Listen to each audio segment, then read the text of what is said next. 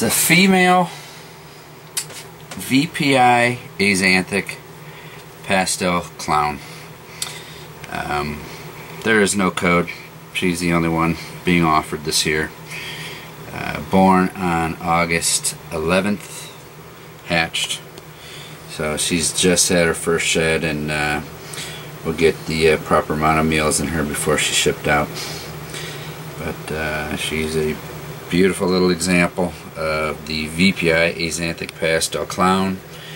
Uh, this makes three of these animals that I know that exist and they're all here and this is the first one that I'm letting go and we have some other pieces parts that could be matched up with her to really maximize someone's opportunity to uh, start making both these uh, the Axanthic clowns and then uh, of course the Axanthic killers don't even exist yet and then you know we haven't even talked about Axanthic Batman balls and Axanthic spot nose clowns and Axanthic leopard clowns so I mean there's there, there's a world of world of stuff to do.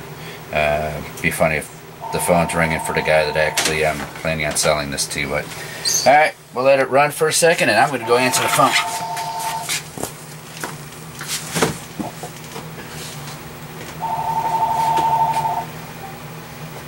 Hello. Hey.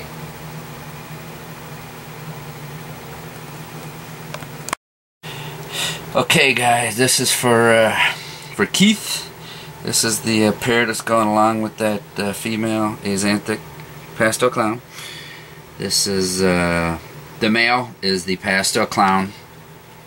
He's 100% het VPI Axanthic. He is on the right, correct? Yes. And on the left is the female Axanthic, 100% het for clown. Uh, these guys, this is a brother and sister here.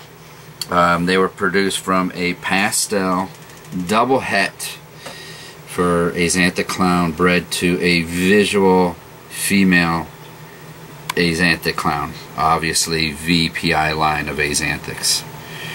So this is the power couple right here and of course with the other female thrown in. For it's not just thrown in but you know what I mean. Uh, Power trio. it's a, it's a true power trio. So there you go